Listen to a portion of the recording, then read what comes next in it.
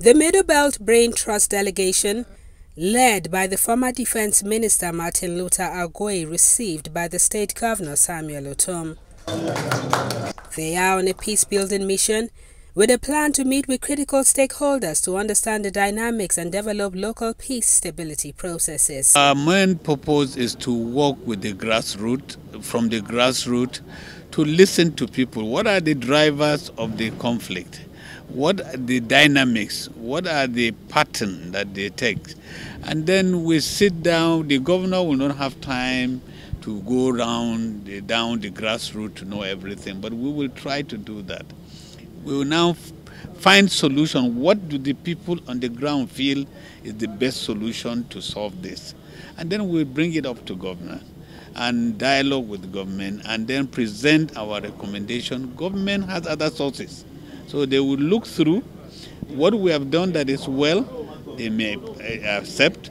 What they think they can modify to achieve what they want, they will modify it and achieve what they want. But our main aim is to see that we have a society, uh, have an, uh, people, we have communities that can live in harmony with each other.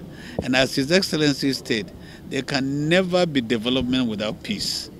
So if we have peace, we can develop much faster. You have come for a genuine cause and uh, we deeply appreciate this. In Benue State, we have no peace. There is no peace in Benue State. If anybody tells you that, it's a liar. There is a challenge. And from 2010, we started experiencing this because of some people who feel that Benue State and other parts of Nigeria should not know peace. So I'm happy that you're here. Uh, you have always been a man of peace, and no wonder God has blessed you. The chief security officer of the state was particularly worried about the poor handling of security issues that have led to the continued killings and displacements of his people. I have more than 1.5 million IDPs lying in the camps. When you were coming here from Lafia to Makurdi, you saw them. That is just part of what we have. We have eight camps in Benue State that are holding IDPs. Those people you saw are people who could not take shelter from their shelter from their relatives. There are people who have nowhere to go. Their children are there. Some have four wives with 20 children, they are living there. And evil people go there to seduce our girls in those camps in the night. These are the pains I have. So when people talk that, Samuel Ortom should not talk. In the midst of this injustice that is going on, I say to hell with them. I am governor. So if I don't talk, who will talk for these people who are living in pains? It rained yesterday night. At least you, to, to you that came here, you sleep in the comfort of various wherever you found shelter. Those who were sleeping in the rains in make-up tent. I am governor. How do you want me to feel? How can I sleep? How can I eat in my comfort? I have limitation. Since 2018, I've been paying salaries, but after that, I can't do any other thing. Even to feed these IDPs, I've been depending on people. I commend the River State governor, Akwa Ibom governor, my Taraba counterpart, who felt that what this man is passing through, they sent support to help me. And faith-based organization, the Roman Catholic Church, the PFN, and other churches, they've been coming to us. Even the Muslim community, they came to support. Go and check what federal government has given us since this problem have started. Other states that have similar problem, see what they sent to them. But here, they've allowed us to starve. At least, I see, I'm still breathing now. I should talk about the plight of my people. I feel very pained. And instead of addressing issues that are raised here in Benue State as governor of Benue State, what result do I get? One, they have banned me from seeing Mr. President. courtesy or people who are from Benue State and have been whatever, who are ministers, who enjoyed position in government, courtesy of the people. And they have used that to stop me from even seeing Mr. President. And they are happy. Their people are suffering here.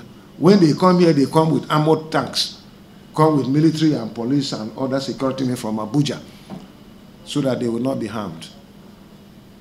So I don't understand the kind of country, whether there is leadership in this country. This country has failed. The leadership is performing 20% by my own assessment, and that is below average. How can we continue in this manner? He took a swipe at indigents in authority who he says are working against the interests of the state and its people. Recently, they collected money, and Professor Onge was part of it. Did a press conference and told lies about me and my people that we have guns. If we have guns, how can we be having 1.5 million? I have refused to be part of raising a militia. I would have done it, but two wrongs cannot make a right. Mr. President accused me the other day of having 6,000 militia. Where are they? Ask the security men in Benue State today. Ask him, where are the 6,000 militia? Are they in his village? Or the village of uh, his boss, the minister, who they are conspiring to wipe away Tivland because of their meat ticket. I'm not part of you. Now, there's nothing you can do. I'm governor of Benue State. The people have elected me. You didn't want it, but the people elected me, and I stand to defend them, at least my people.